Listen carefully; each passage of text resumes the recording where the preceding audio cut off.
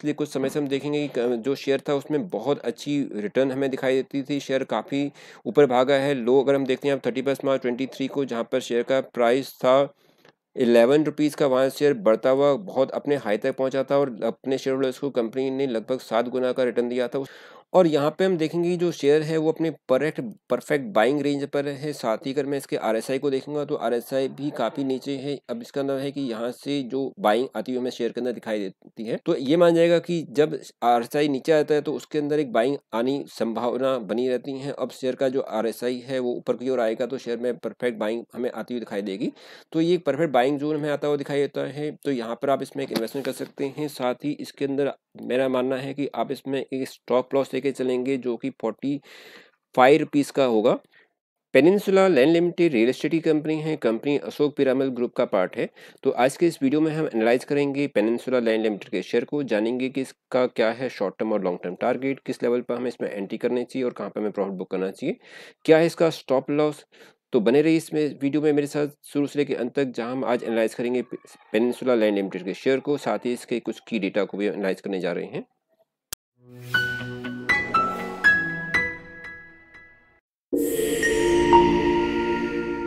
Peninsula land limited, N S दोनों stock exchange के अंदर ट्रेड होती है। शेयर का प्राइस इलेवन रुपीज़ से बढ़ता हुआ seventy one point six zero तक, यानी कि लगभग सेवन टाइम्स अपने लो से हाई पहुँचा था। इसका टर्नओवर है three forty seven point nine nine crore का। वॉल्यूम इसमें बहुत ज़्यादा है, seven two eight nine two seven की वॉल्यूम है। करंट प्राइस है फोर्टी एट रुपीज़ का। के, की डेटा को एनालाइज करेंगे तो पाएँगे कि इसका पी रेशो है ट्वेंटी का। अर्निंग पर शेयर है वन पॉइंट सेवन वन की सेल है one forty two point two seven की फेस वैल्यू है दो रुपये की। कंपनी अपने शेयर होल्डर्स को दो बार बोनस दे चुकी है। लास्ट जो बोनस दिया था उसने वन टू वन का दिया था, यानी हर एक शेयर के पर एक बोनस दिया था। कंपनी ने जो लास्ट डिविडेंड दिया था वो टेन रुपीज़ का दिया था अपनी फेस वैल्यू के ऊपर। चार्ट से जानते हैं कि कंपनी का परफॉर्मेंस क्या रहा है एक साल के अंदर और 200 डी और 50 डी की कंपेरिटी क्या है? तो हम देखेंगे कि शेयर का प्राइस अपने लो इलेवन रुपीज़ नाइन्टी पैसे से बढ़ता हुआ हाई तक पहुँचा था और जो करंट प्राइस है उसमें कुछ गिरावट आई है और करंट जो हम देखते हैं तो यहाँ पर इसका फिफ्टी डी और टू हंड्रेड डी को अगर एनालाइज करेंगे तो शेयर अपने अपने फिफ्टी डी से लो और टू हंड्रेड से ऊपर ट्रेड करता हुआ दिखाई देता है। जो अगर इसका फिफ्टी डी देखेंगे तो वह है फिफ्टी फाइव रुपीज़ का, जबकि टू हंड्रेड डी में फोर रुपीज़ का तो करंट जो प्राइस है वो अपने फिफ्टी डी से नीचे, लेकिन टू हंड्रेड डी से ऊपर ट्रेड करता हुआ दिखाई देता है। कंपनी के पीर कॉम्पिटेटर में D L F Oberoi realty Godrej property जैसी बड़ी बड़ी कंपनीज़ हैं तो क्वार्टर रिज़ल्ट को हम एनालाइज करेंगे तो पाएँगे कि कंपनी की सेल्स ऑपरेटिंग प्रॉफिट के अंदर क्या परफॉर्मेंस आई है। तो हम देखते हैं यहाँ पर कंपनी का जो क्वार्टरली परफॉर्मेंस रहा है, उसमें March twenty three, June twenty three September twenty three और दिसंबर ट्वेंटी थ्री को हम देखेंगे तो यहाँ देखते हैं कि दिसंबर ट्वेंटी टू के अंदर जहाँ पर सेल थी टू फोर्टी नाइन की, उसमें गिरावट देखी गई थी मार्च ट्वेंटी थ्री के अंदर, लेकिन जून में इसमें थोड़ी सी बढ़त आ गई थी और ओवरऑल अभी जो है इसके अंदर जो दिसंबर ट्वेंटी थ्री में वो वन फोर्टी थ्री की है।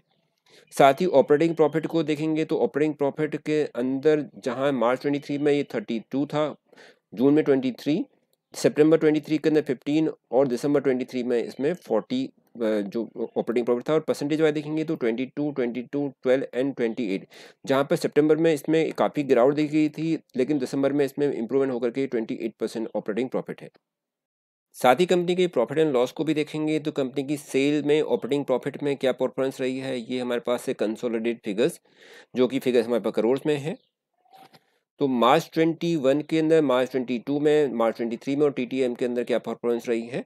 तो मार्च ट्वेंटी वन के अंदर जो कंपनी सेल थी वो two forty two sixty four crore की थी, जिसमें काफ़ी इंप्रूवमेंट हो गई थी मार्च ट्वेंटी टू में, जो सेल बढ़ करके हुई थी फोर थर्टी फोर की। और मार्च ट्वेंटी थ्री में तो इसमें बहुत ज़बरदस्त इंप्रूवमेंट दिखाई दी थी वन थाउज़ेंड वन करोड़ की, और टी टी एम तक इसकी सेल है सिक्स हंड्रेड फोर करोड़ की। कंपनी के ऑपरेटिंग प्रॉफिट को हम एनालाइज करते हैं तो क्या स्थिति है कंपनी के ऑपरेटिंग प्रॉफिट की?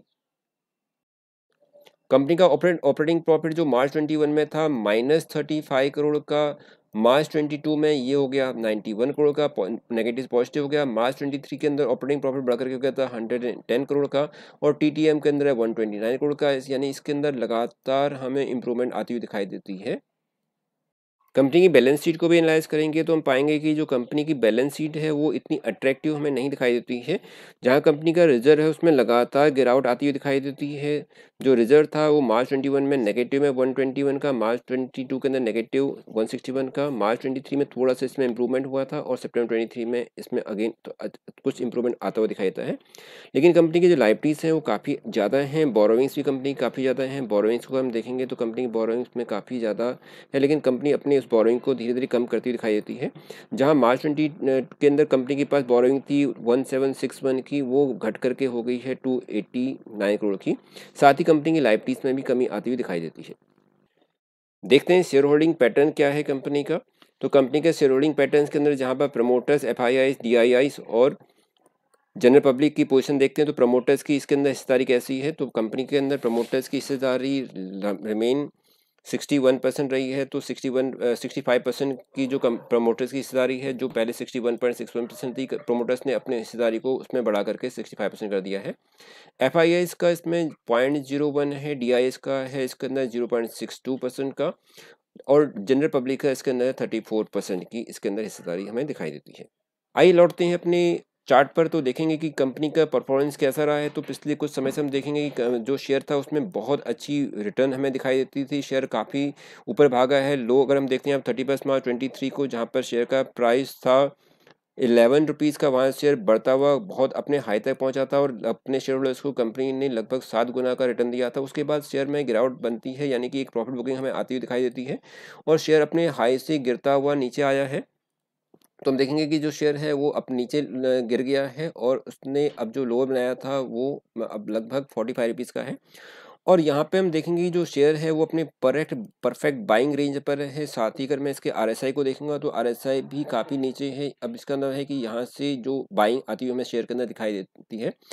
देखें, यहाँ पे जो RSI है, वो नीचे, काफ़ी नीचे गिर चुका है और अभी जो शेयर है का जो RSI है, वो थर्टी से भी नीचे है। तो ये मान जाएगा कि जब RSI नीचे आता है तो उसके अंदर एक बाइंग आनी संभावना बनी रहती है। अब शेयर का जो RSI है, वो ऊपर की ओर आएगा तो शेयर में परफेक्ट बाइंग हमें आती हुई दिखाई देगी। तो ये परफेक्ट बाइंग जोन हमें आता हुआ दिखाई देता है। तो यहाँ पर आप इसमें एक इन्वेस्टमेंट कर सकते हैं। साथ ही इसके अंदर मेरा मानना है कि आप इसमें एक स्टॉक लॉस लेके चलेंगे, जो कि फोर्टी फाइव रुपीज़ का होगा। तो फोर्टी फाइव रुपीज़ का एक स्टॉप लॉस लेकर के आप इसमें इस लेवल पे एंट्री कर सकते हैं एक अच्छे टारगेट के लिए और इसका मेरा मानना है कि इसमें शॉर्ट टर्म टारगेट जो होगा वो आपका होगा फिफ्टी सिक्स रुपीज़ का, जो कि दो से तीन महीने में आपको आता हुआ दिखाई दे सकता है। तो एक शॉर्ट टर्म टारगेट होगा, साथ ही अगर इसके आगे हम जाते हैं तो हम पाएँगे कि इसके अंदर जो काफ़ी पोटेंशियल बनी हुई है और जो अगला टारगेट होगा वो होगा सिक्सटी फाइव रुपीज़ का। तो इस लेवल के लिए आप इसमें एंट्री कर सकते हैं। शेयर के अंदर काफ़ी पोटेंशियल हो आने वाले समय में रियल इस्टेट में भी अच्छी रिटर्न हमें मिलने, मिल सकती है। क्योंकि कंपनी के कॉम्पिटेटर काफ़ी बड़े बड़े कॉम्पिटेटर इसके अंदर हैं तो आप इसमें एक अच्छा रिटर्न ले सकते हैं। तो यदि आप इसमें इस लेवल पर एंट्री करते हैं तो आने वाले कुछ समय में आपको इसका अच्छा रिटर्न मिल सकता है। दोस्तों, किसी भी शेयर में एंट्री करने से पहले उसके रिस्क एंड रिवार्ड को आपको ज़रूर जान लेना चाहिए, तभी उसमें एंट्री करनी चाहिए।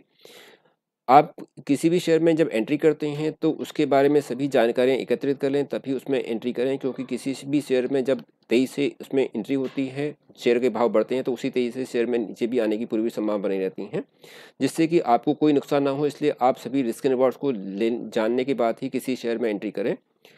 यदि आपको जानकारी अच्छी लगी तो प्लीज़ मेरे चैनल को लाइक एंड सब्सक्राइब ज़रूर कीजिए। Thank you for watching.